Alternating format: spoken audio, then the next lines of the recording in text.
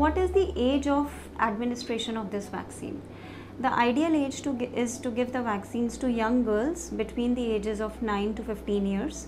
Catch up vaccination can be given up till the age of 26 years, and in India, we can even give the vaccine up till the age of 45 years. The vaccine is given in the upper part of the arm in the insertion of the deltoid muscle. So for young girls less than 15 years of age, a single dose is sufficient. And for women who are more than 15 years of age, we give two doses at an interval of 6 months.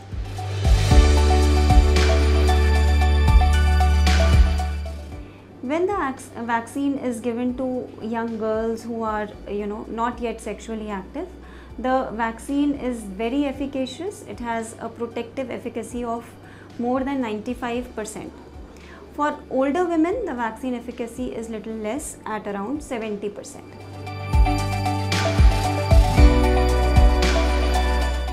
so the vaccine has been around uh, for more than two decades and it has a very large safety data to it Uh, does not cause any major side effects. There can be mild pain or redness at the site of administration, but that's about it.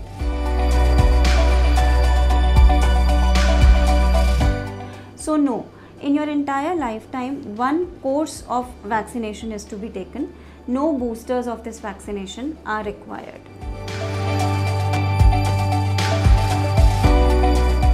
The answer is no. We do not give this vaccination while you're pregnant. At the time of breastfeeding, however, the vaccine can be taken. The answer is yes. Even if you have taken the HPV vaccine, you must continue with the cervical cancer screening by doing a pap test. The pap smears have to be done once in three years up till the age of 65 years. Those are the guidelines. And so even if you're vaccinated do continue to get your pap smears done.